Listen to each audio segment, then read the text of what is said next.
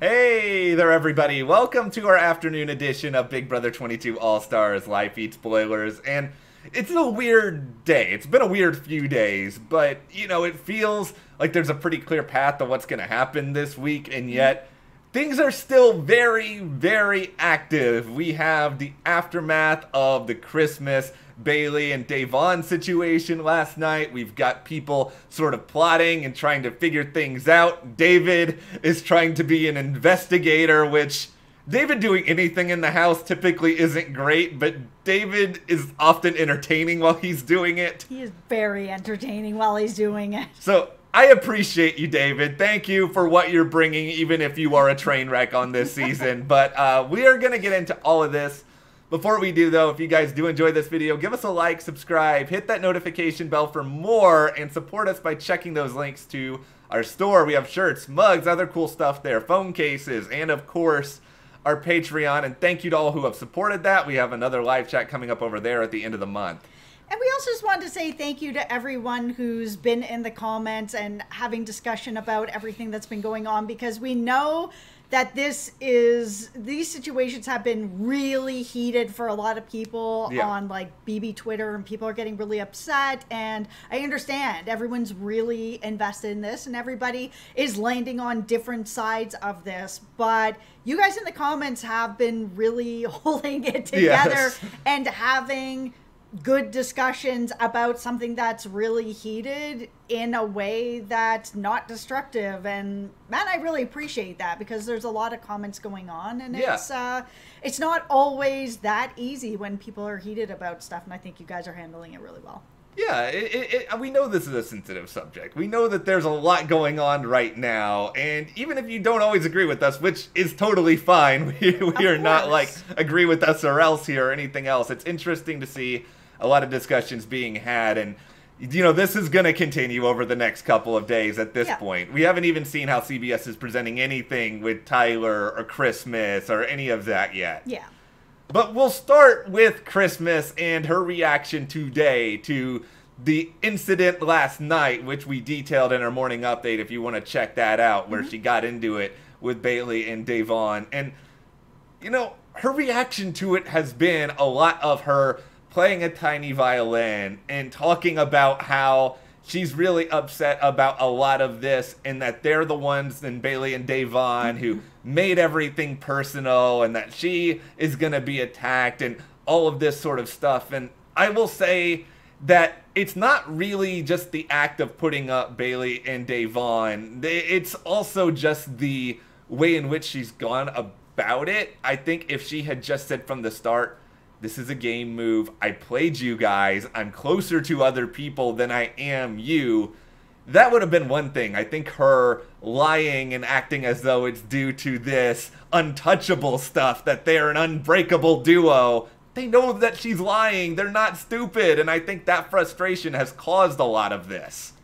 I agree. I think that it's this is a game where people lie a lot, yeah. but your lies do have to be believable. And with the amount of wall yellers that have been out there that have put Nicole and Cody together as a pair and they are a pair yeah. that it's it is just such a lie that everybody is in on including Da'Vonne and Bayleigh they know that what Christmas is saying isn't true and she's trying to die on this hill and they're trying to just say like just give us the truth. Like at one point, Da'Vonne even said, "Let's just be straight, just yeah. straight out. What what is it? What happened? Like why is this happening?" And, and Christmas still wouldn't come out. So I get where all the frustration is coming from. And this is something we've said before as well with even people like Derek and like Paul who lost. And I mean, Derek obviously won, but Paul lost because in part he didn't own his game. And I think Christmas if she does make it to the end, not saying I want this, but if Christmas does make it to the end, I think her inability to own what she is doing is very, very damaging to her. I'm not saying she has to say that Tyler is her number two or anything like that, but I think people know that she is lying and she won't own it, and that is going to be incredibly frustrating to either Bayleigh or Da'Vonne. Whoever makes it through this week is going to be on the jury. Yeah, she is making a lot of the very same similar mistakes that Paul made, which is not owning her game. And she is also mismanaging the jury really badly because either Da'Vonne or Bayleigh are going to be on that jury now, and she's Yeah. not going to get their vote. And now, the way that she ended up handling the situation also is leading this into a situation where now other people are now looking at not working with her. Yeah, and I, I think they're frustrated by how messy it's continually become and how much she is sort of playing the what was me act when she, they were there. Like, they saw a lot of what happened and how, yeah, Bayleigh and Da'Vonne were upset, but they are also on the block, and Christmas put them on the block, and she hasn't been honest with them about why. And this boiled over this morning with David. David, David, David decides David. that he is going to take it upon himself to go and ask Chris- Christmas straight up, What's really going on here, Christmas? Why did you do this? Yeah, and he kind of implied to her that, like, is it you that did this, or is it other people kind of making you do this? Like, Christmas is not making her own decisions. So Christmas, of course, was like, "Well, what do you, what do you mean? Why you why are you saying this?" And I understand why Christmas is getting pissed Yeah. off about this because he's basically saying you're not making your own decisions, you're not running your Yeah. own HOH, you're just being led around, you're, you know, not playing your own game. Christmas has made her decisions in this, whether they're good or bad or whatever you feel about them. Yeah. These are the decisions that were made by Christmas. Because the people that would have influenced her, like Tyler, didn't influence her in the way that she ended up wanting to go. One of the things Tyler did suggest Bayleigh and Da'Vonne, but he also was really pushing to get Dani up on that block. Christmas was like, no, that's not happening. Put the kibosh on Yeah. that. Then Tyler, I want you to put me up and use a veto. No, I'm not doing that. Like Christmas is doing what she wants when she wants. Yeah, Christmas has made her decisions. What David said is yet another reminder of David being bad at Big Brother, but I'm not gonna lie, I'm kind of enjoying David doing this sort of stuff. And plus, she gave him the same sort of nonsense that she's given other people with this untouchables commentary, which David, you know, David may be bad at Big Brother, but David also, he's he's perceptive enough to understand He that is. this is full of it. But David, David's in an interesting place now because I feel like he, I, I think he does want to be close to some extent with whoever survives between Bayleigh and Dave Da'Vonne and mm-hmm. to a certain extent Kevin. But I think he is also getting in with those guys and trying to stay in with them and trying to stay in with Tyler. Like David and Tyler had some game talk over the past mm-hmm. 24 hours already. Yeah, Tyler is trying to. I think Tyler is also obviously in some trouble. And Yeah. while he's trying to say, yeah, you know, I'm staying in the game, I'm back in the game, I don't 100% believe that he his heart is still in the game. I think he's just he's still in the game. Yeah. So whatever it is, it is at this point because he just hasn't felt like he's been in the game since he got here. So he was trying to work with David until David drove the clown car around and ruined everybody's game. But Tyler is looking to get back with David again. He said that he doesn't want to play this game without David. And I think Tyler knows that he needs other allies.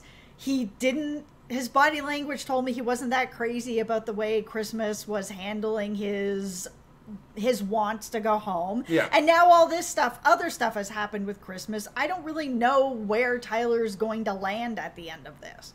Uh, if I had to predict, and I, I could be totally wrong with this, like I think Tyler will be reasonable enough to Christmas because if Christmas is willing to, you know, put herself in this position to not put Tyler on the block, I don't think she's going to put him on the block anytime soon. But I think Tyler is also going to be like, you know, I don't know how into Christmas I am at this point, and you know, so he's trying to build these bridges with other people, like.